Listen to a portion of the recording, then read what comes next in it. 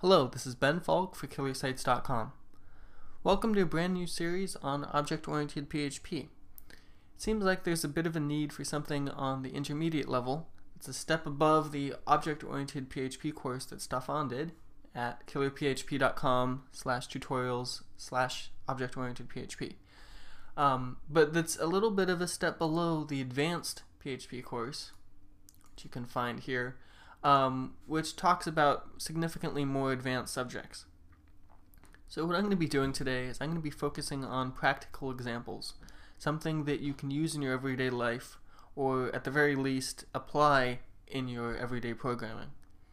So let me give you a glance at what we're going to be building today.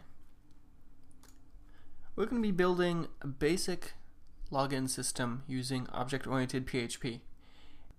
Functionality-wise, you'll notice this particular course is not all that different from my previous PHP login series, um, at least for the moment with the videos I'm going to be talking about today. Um, however, keep in mind that the backend, the code itself, is significantly different. Um, we're going to be using entirely object-oriented programming for this particular course. So the functionality may look similar, but the actual code that produces it is quite different. Uh, my goal is not to duplicate all of the functionality that's available in the other course. Um, I'm going to be focusing primarily on the simple basic functionality, someone being able to log in and log out. Um, so as an example, you see I have the website open. Um, you can go in, you can hit fill in the username and password, hit submit, and it tells you you've successfully entered the members area, and you can log out. So I'm keeping this pretty simple. Um, I'm trying to do the absolute basics because I don't want to confuse people too much. Um, but we're, we're going to be focusing on building two main objects. We're going to be building an authorization object, which is going to handle the tasks involved with um, querying a database, checking if users are logged in, um, checking users' author, you know, username and password to make sure it matches the database, those sort of tasks. And we're also going to be building a basic templating system, um, which makes it easy for you to load your views, um, display certain information in those views, and I'll be explaining that step by step. To follow along with this course, you're going to need a couple things. You're going to need a computer with PHP setup. Um, I'm assuming that you should have this in place already, because I'm also assuming that you've worked through Stefan's object-oriented PHP series, the beginner's course. Um, so you obviously need that. Um, you're going to need a basic text editor. I mean, even Notepad or something simple will work. Um, I'm a fan of Coda. And you also need a computer that has PHP 5 set up.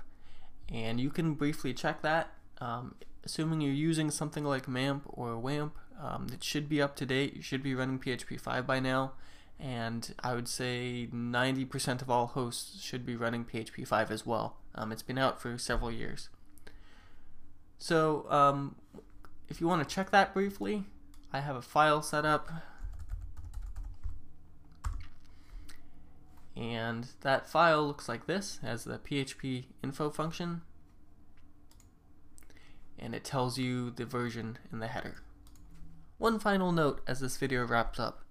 Um, I do want to be clear that while I am trying to keep this as an intermediate level course as much as possible, some of the stuff we will be going over is complicated. It is a little bit confusing as you first get started to realize how all the different files interact and how they interconnect. And it's something that I had struggled with when I first got started with object-oriented PHP. So keep that in mind. Um, if you do run into challenges, I would suggest watching the video more than once um, you may want to try experimenting on your own a little bit. Sometimes doing it yourself helps things click. Um, and feel free to post on the Killer Sites forums if you need any help. Um, I'm always around. I'm always happy to help out with questions. So, like I said, um, you have some resources available to you if you have issues. Well, that brings this video to a close. Thanks for following along, and definitely check out part 2. I'm going to be talking a little bit about object-oriented PHP and MVC theory, um, just a little bit, enough to get you started, and how to set up the database in your files so you can follow along with this course. Thanks.